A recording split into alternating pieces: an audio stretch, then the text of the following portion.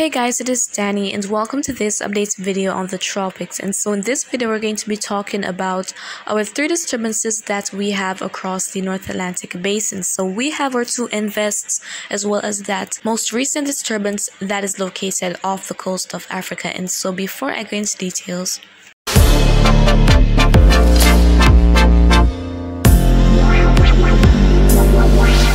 Alright, so let's kickstart things with our disturbance located off Africa. So as you're seeing here on the 5-day outlook from the National Hurricane Center, it is given a 20% chance to potentially develop into a tropical cyclone. And so development of the system does not seem likely because conditions are only going to be marginally conducive. So if we'll have any development, it'll be very slow to happen. But for the most part, it seems as though this will not acquire tropical cyclone status and it is also going to be making its way out in the open waters.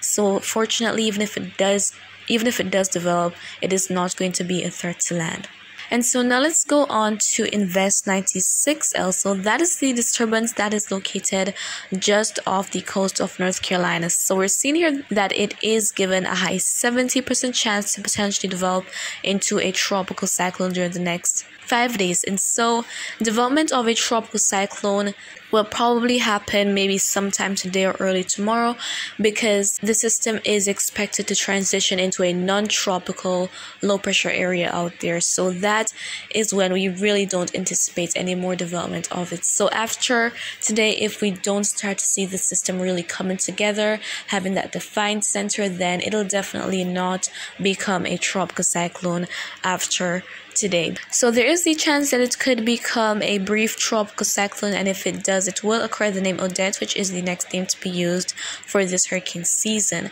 So it is going to be staying offshore of the US and not bringing any direct impact. So let's take a look at it on satellite view and so we're seeing here that it is not very very organized. It's not so symmetrical and it's really a broad low pressure area right there. So without that defined center of circulation we don't really have a tropical cyclone being present here.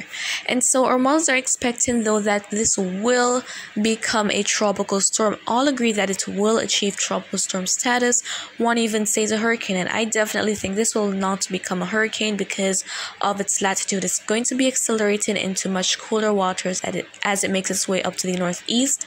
Cooler waters inhibit much intensification or development of a tropical cyclone because tropical cyclones need warmth and moisture, so all that would be lacking. And so now let's go on to Invest 95L. So that is the disturbance that is located out in the Atlantic about midway between the Windward Islands and the coast of Africa. So as you're seeing here on the five-day outlook, this disturbance is also given a high 70% chance to potentially develop into a tropical cyclone during the next five days. And so this is going to be making its way generally to the west northwest or the northwest. And so it might be a threat to portions of the Caribbean. So the Leeward Islands might feel impacts from the system Monday going into Tuesday of the new week as it makes its way by. So those areas should monitor the progress of this. So we could have it making its way very close to the Leeward Islands or probably pass north, but we really have to wait and see what's going to be the eventual outcome because a lot of possibilities are on the table and there can be a lot of changes with this system here. So in terms of its on satellite, we're seeing here that there is not much going on at all for it. So we have very limited shower and thunderstorm activity and we're definitely not seeing any rotation of the system here. So we could have it occurring all those uh, during the next couple of days while it's going to be remaining in that conducive environment. And so now let's take a look at what our models are expecting in terms of the intensity. So we have quite a bit of available models and actually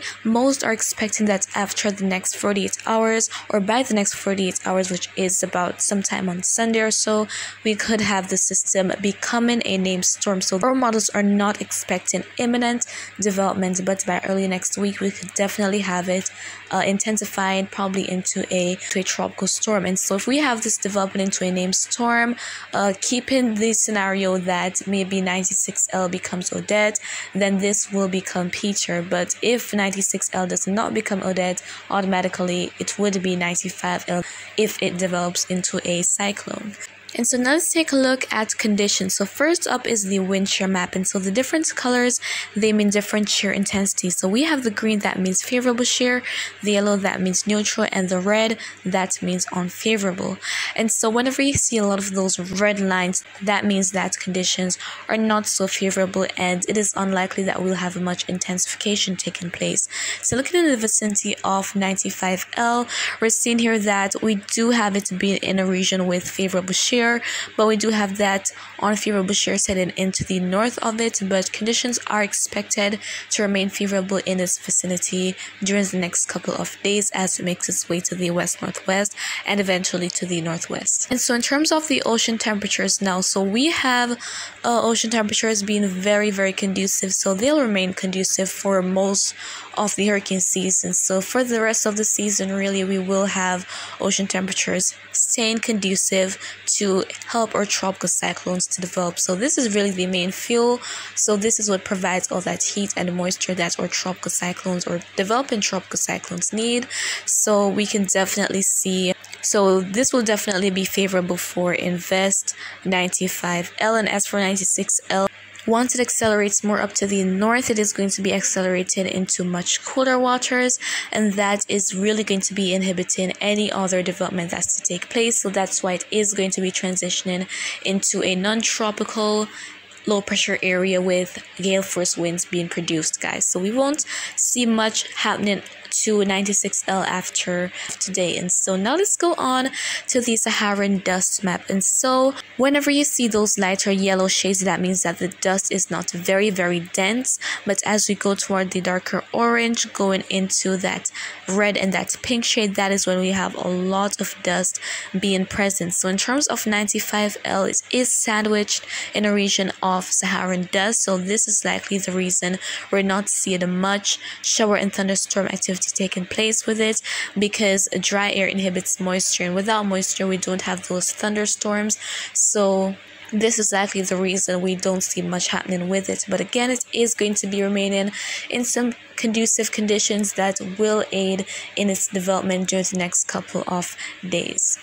And so guys, that is really it for this update video on the tropics. So again, we have Invest 96L, which has the potential to become a named storm probably by today, but that window of opportunity for it to develop is starting to close.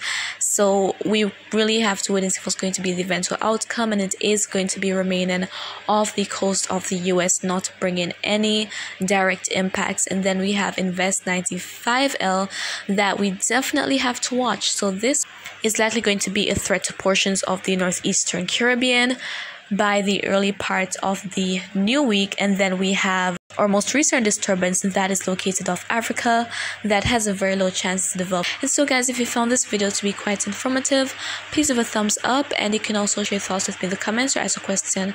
I will try to respond as best and as soon as I can and just remember to always breathe wise and of course, I will keep you updated as time goes by.